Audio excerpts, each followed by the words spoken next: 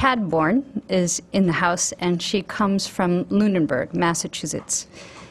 She is uh, highly sought after as a singer, a singer, songwriter, a storyteller, a poet. She plays the harp, flutes, piano. She um, holds a PhD in Celtic languages and literatures and has taught courses in Irish language and folklore. Um, and uh, she is especially uh, busy in the month of March uh, with uh, everyone's uh, interest in celebrating St. Patrick's. Um, but uh, she actually goes back and does a lot of celebrating in February when she hosts a gathering of friends of great talent who are poets, storytellers, songwriters. And so she's bringing a sample of that this morning to share with us uh, one month later. So uh, happy that we could get Kate to come in her busy month. Um, a little more about Kate is that uh, her own music has been on NPR programs, uh, Car Talk and All, All Songs Considered. She has a few CDs out there. Perhaps they're there today as well as her other features. Her Irishy Girl has been played in Irish programs throughout the country, and she has a collection of poetry about her father, a Maine lobsterman, which won the Kalupi Press uh, chapbook contest. When I asked Kate about a favorite moment sharing herself. She also went back to Ireland, like Terence and Mary, and said, being invited to sing by uh, Donegal fiddler James Byrne was one of the most deeply affirming and inclusive occasions of my life. In his presence, music was an art form of connection and respect. When he played a slow air or when he asked me to sing, the whole room dropped into reverential quiet. And at the end of the of the air or the song, there was a sense that we had traveled somewhere together, that something important had happened.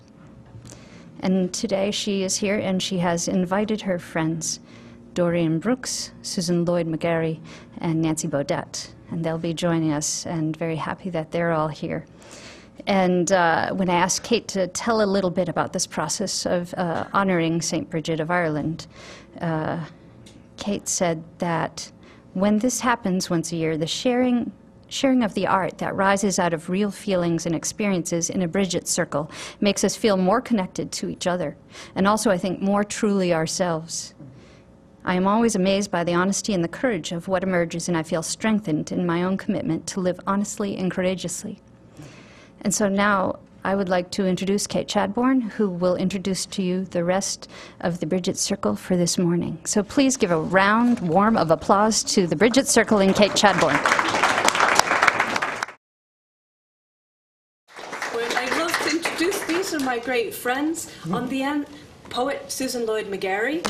Next to her, Dorian Brooks, po- a poet, wonderful poet, also Irish speakers, I should say lovely Irish speakers, and my dear friend here, Nancy Beaudette, singer songwriter and um, musician. So we're all together. So I've asked Dorian if she would read a poem for us.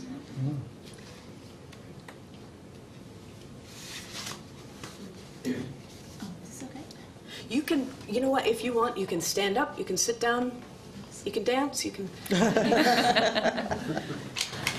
um, okay. Um, I'll read this poem that I wrote to Bridget, and it is called To Bridget. it has as an epigraph Bridget is the ancient Celtic goddess of healing, smithcraft, and poetry associated with fire and sacred wells. Hmm. In the harsh, metallic winter, when I tried to sing, my tongue stuck in ashen air, my voice died. When I tried to breathe, my heart stalled. Cold mists corroded my sleep.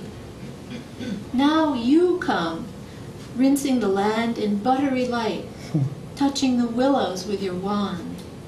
My body stirs. I wake to the cry of newborn lambs. My song flares in your footsteps like windflowers. Bridget, I am water swirled in a dish to catch your eye. Dance with me. I am the earth opening to your fire. Hold me. Heal me. Oh, I love that, Dorian. I love that, that this ancient goddess and even this maybe 5th century saint is still inspiring works of art now. It's beautiful. Thank you. Well, Nancy, would you like to sing us a song? I would love to, and I would love it if everyone sang along. This is a uh, song that I wrote with my great friend uh, Christine Hatch um, in honor of Bridget called Bless All These Things. There's a chorus here that I think um, would be nice for all of you to join in with. For loving, for living, for laughing, for giving. Want to try that, please? For loving, for living, for laughing,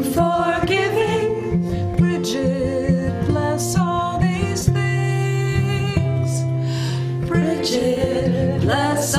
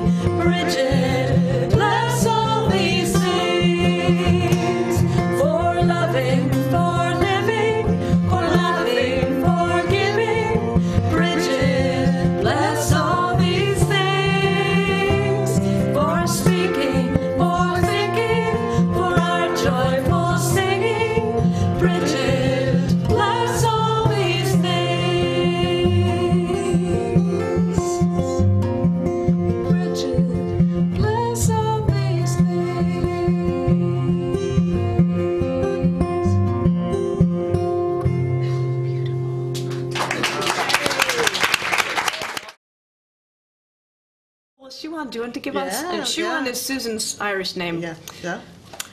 I, I just before I, I I'm going to say a little poem, but um, to say domo arigato uh, for the woman who sang at the beginning and the thoughts of uh, the Japanese affected by the earthquake, which is also an island as Ireland is an island.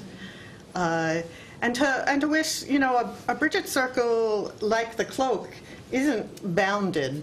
That's right. That's why we're this way, actually, you know? So we can think of this circle extending all the way there and bringing her healing qualities. Because one of the stories of Bridget uh, is about her, not only about her cloak in terms of uh, claiming land, but also that her cloak has other magical properties, that it, that it heals. And on um, St. Bridget's Eve, if you put out a piece of cloth out on the hedgerow, uh, to catch the morning dew, it can magically extend and it has healing properties for the rest of the world. So, um, send, ending those healing properties out, out to Japan.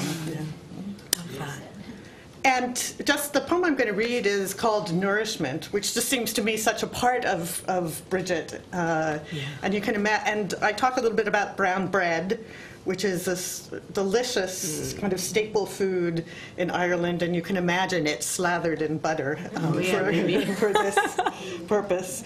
Uh, and I, I also talk about the daughter of Bui, and um, Bui is, you know, like a pre-goddess goddess who sometimes is thought as the precursor of Bridget. So that's just that kind of unfamiliar name. And something else mentioned in here is the Burren, which is this incredible rocky but fertile landscape in County Clare. So just nourishment. Yesterday, this bread was baked by Mrs. Mary Callahan, my landlady, and wrapped to take and eat as I traveled away at dawn from the village of the daughter of Bui and her healing well, away from the rock and green. Two days ago, I walked the Burren with a friend, talking about our lives, about his children. I taste the time we had together and all the days we won't. I want more than I can have. Sometimes I stride through the rubble of my life, and sometimes I step carefully, as I did then. This evening, I savor the rich, dark bread, the rough grain on my tongue.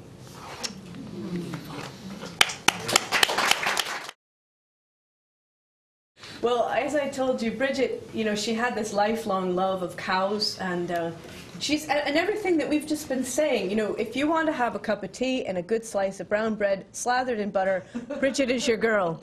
You know, and uh, all these beautiful things. The primrose is in Nancy's song. Um, this is a, a plúirín sneachta, a snowdrop. Dorian gave me this brooch, and that is one of Bridget's flowers. So she's just connected to all to life, really. I think that's why I like her so much. I think of her as a friend. Well, she was heroic in her way, and uh, she loved especially all the creatures of the world. And uh, one day, she used to go riding in her chariot. I, I love to think of, the, of this early Irish saint in her chariot, thundering across the plains of Ireland. Yeah! And I, I love to say that she was like Xena, warrior princess. You know, here's Bridget, like no little sissy saint. You know, she's like pardon me, but a badass saint. Woo! And there she is, thundering across Ireland in her chariot. And she sees, as she's going, dun, dun, dun, she sees a little family over in the woods, and they're all crying. And, uh, and she pulls over and goes over to them. That's the break, you know, and, and says, What seems to be the trouble here, you know? And they say, Our father! Oh my goodness! it's our dad." She says, Slow down, tell me the story. It's our father. He was the king's forester, and ah, he killed the king's pet fox. Oh, it was an accident.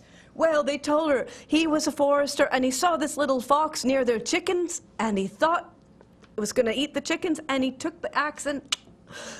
Oh, no is right. Well, it was very sad, and they said, The king has our father, and he's going to kill him. She said, Just leave it to me. I'll solve everything. As I told you, she did with Mary, right? She could solve anything. so she got back into the chariot, yaw, yaw, and this time she went across the plains, and she was doing this. Well, I hope that doesn't screw up the microphone. But anyway, because that's a magical whistle, as you know. And she's looking left and she's looking right. Never been easy for me. And she, and finally there in the corner of the field, she sees these two little red ears and these two bright shining eyes. And this little fox comes running out of the woods and it jumps up into her cloak and it snuggles here and she pushes him down into her cloak. It's just heavenly to have a little fox right there. and she goes riding into the king's castle because that's what they used to do. They just drive their chariots right in.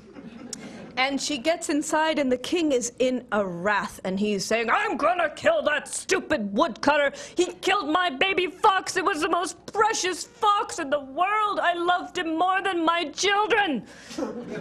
kill the woodcutter. And she said, Just a minute there, king, just a minute. Look, I've got something. And she opened her cloak, and out came the beautiful little fox. And the king looked at him. He said, That's just a regular fox. He's nothing special. I miss my foxy loxy. well, she said, Just a minute. Watch this, king. And she clapped her hands. And the king sat up on his back legs and he danced around. and sh- Not the king. the fox. Well, I wish the king had, but no, he wasn't really that kind of a man. But anyway, he danced around. He said, Well, that's good, but it's nowhere near as good as my Foxy Loxy was the smartest fox that ever lived. She said, Just a minute, watch this king. She clapped her hands and she said, Foxy, what's one plus one? And the fox, Whoa, that was emphatic. Yes, because he knew that one. It was two. Yeah, the king said, Well, that's pretty good, but that's not even hard. I could do that one. She said, Okay. How about this? What's two plus two? Well, yeah, that's also very good. That's right, right? Yes, that's right.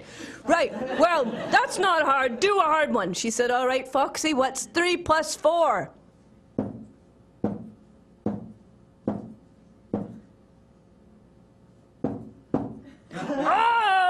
Oh, that was right. The- He had to consult with the official mathematician. Yeah, that was right. Yes, very good. The, the, he's been verified. It was very good, but still, he's not as good as my fox. And she said, just one more thing.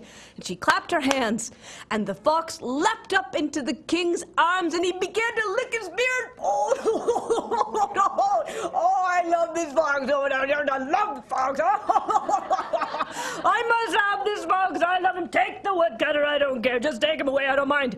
Well, she said, all right, okay, fox, you have to stay here with the king. And because I told you every animal loved Bridget, he looked out. Oh, it's a sacrifice, you know. But sure enough, he did it for Bridget. And she took the woodcutter back to the people, and they were delighted to have him.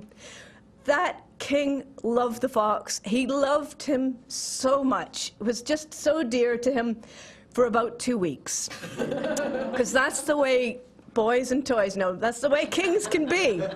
And uh, at the end of about two weeks, he, he began to get restless. He said, You know, I think we should go to war. What do you think, men? And all the men said, Yes, yes, king, that's a great idea. I, I think war is a good idea. Let's, let's go to war. Who should we go to war on? You know, then they had to think about that, who they might actually attack. But it was a good idea to go to war. And so they got all their men and all the horses and all the banners and all the arms and everything, all the instruments of war, and they began to march out. Out to war, out to war. This is great fun. And the fox sat on the throne, watching, watching, watching as all the men walked off to war. And when the little fox saw the coast was clear, he ran, ran, ran out of the castle, out of the kingdom, and ran, ran, ran all the way to Kildare, where he found Bridget, and he leapt up into her cloak, and he snuggled down, and he never left her all the rest of his life. Sinead Mashgale set my tal bregan. Biu. That's my story. If there's a lie in it, so be it. Thank you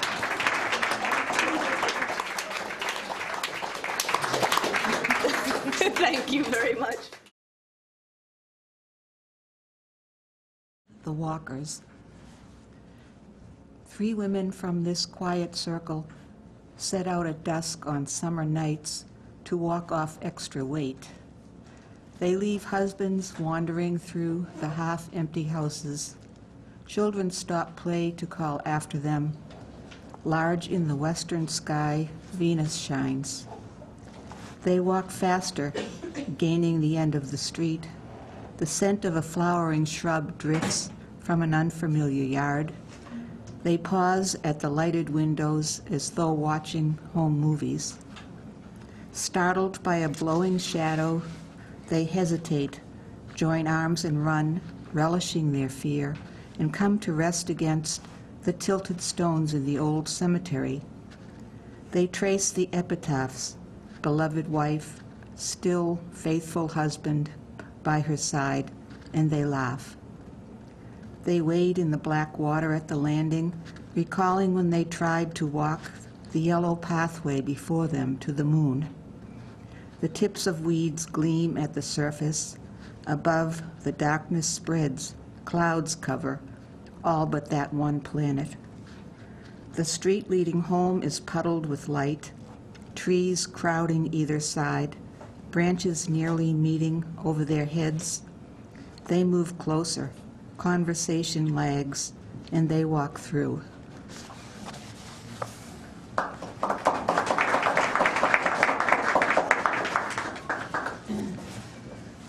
This is called Italian Bees, and the epigraph 1859, the first were imported to America.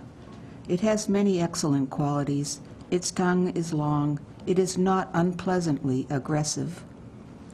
And that's from the ABC and XYZ of Bee Culture by Root.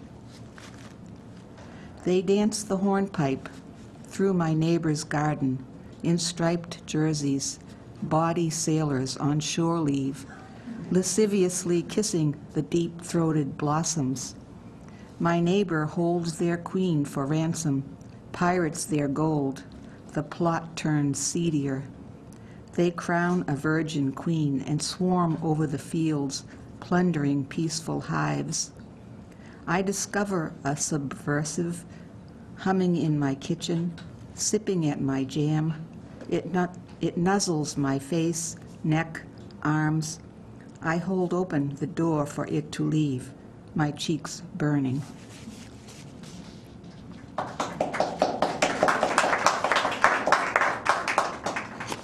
And one short one, finally, called Hens. The chickens a neighbor sends for my freezer are alive in a sack. The boys, nervous debutantes, borrow an axe. Through the window, I see hens dancing headless on the snow. A tub of bloody water, wet feathers, they're delivered up naked, pimpled with quills. I scoop out the grainy crop, yolks swimming in the body's cavity. Intestines break, steam the kitchen. We boil, bake them, but those tough skinned ladies slide over the plates, skitter through the rice, never give in. Oh,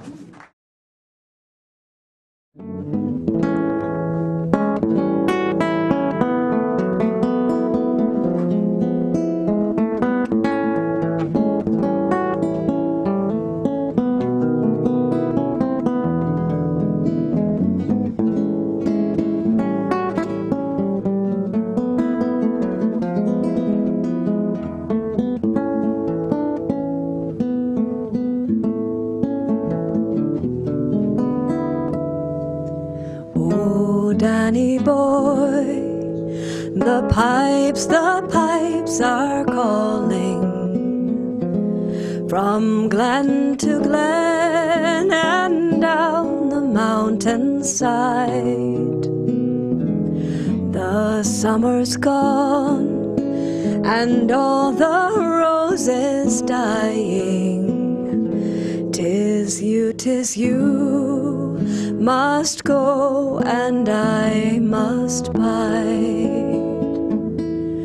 But come ye summer's in the meadow, or when the valley's hushed and white with snow.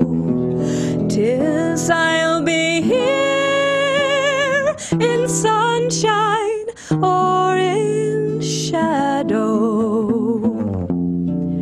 Oh, Danny boy, oh, Danny boy, I love you so. But if you come when all the flowers are dying, and I am dead as instead, I will maybe. I hope you'll find the place where I am lying, and you will kneel and sing an Ave there for me. And I will hear the soft dew tread above me, and on my grave shall warmer, sweeter be. If you will kneel and tell me that you love me, then I will sleep in peace until